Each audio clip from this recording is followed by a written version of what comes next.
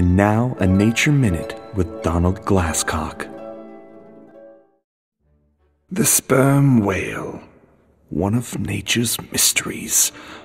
Not much is known about these giant reptiles. Part of the weasel family, they are the largest weasels ever recorded in history.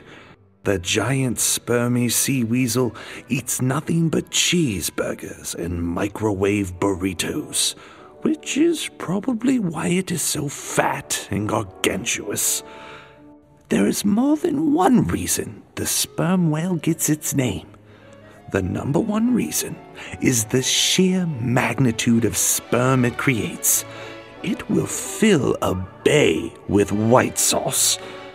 If you were to swim in the tide of sperm, you would probably get pregnant. No diggity, no doubt, no shit. Even if you're a dude, it's that powerful.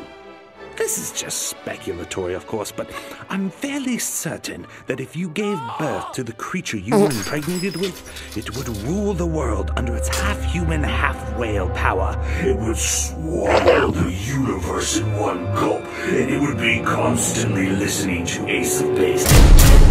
Now, it would be a total fucking douchebag, cocksuck, nipple farting asshole face, but it is your child, and you must take care of it. This has been a Nature Minute with Donald Glasscock.